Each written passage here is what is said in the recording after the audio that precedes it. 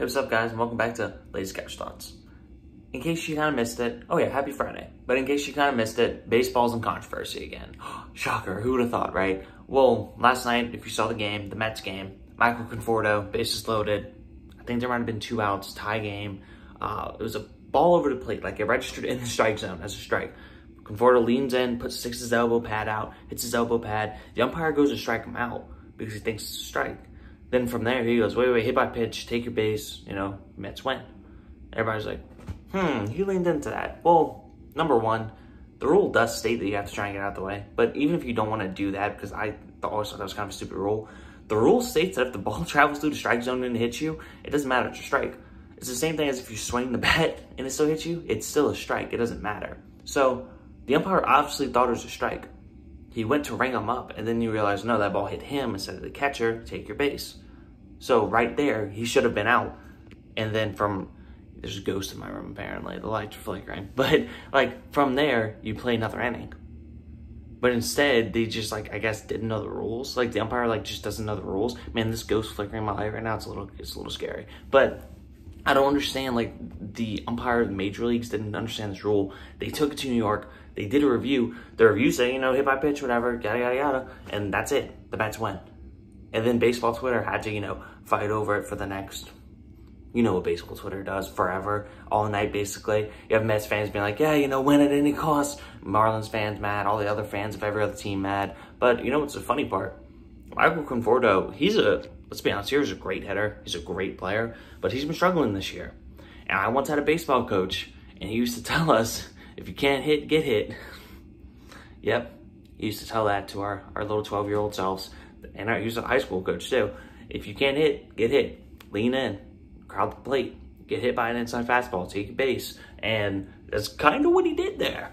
He was like, two strikes, two outs, bases loaded. I've been struggling this year. Man, let me lean, let me lean into one real quick. Let me let me let me win this game for my team real quick. And that's the one thing that kind of sucks about elbow guards. You've been seeing that a lot more lately because a lot more guys would be willing to lean in and let one bounce off the guard to where they can't feel it, and then stuff like that happens. I don't really care. But at the end of the day, the ball passed through the strike zone. It's a strike. He should have been ruled out. They should have went keep playing extra innings. Regardless, the Mets won.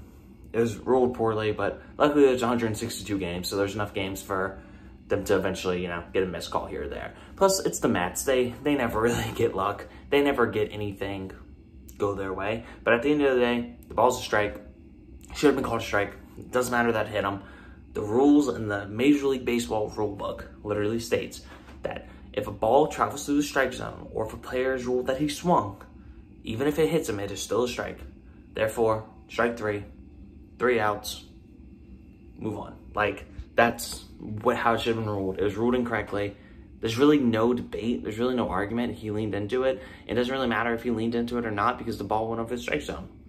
It's really nothing to discuss. Um, it's a stupid controversy and a lot of people arguing over dumb stuff. But at the end of the day, the, the, the way that the rule is written, regardless of how you feel about it, it should have been a strike.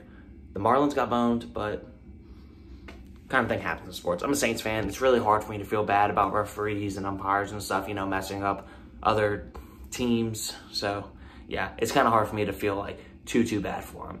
But at the end of the day, Marlins, call up Sixto Sanchez, please, my fantasy team. You could really use it. Um, but Mets fans, just know, like, bro, I'm, I don't really care. I'm not going to argue with you. Should have been a strike three.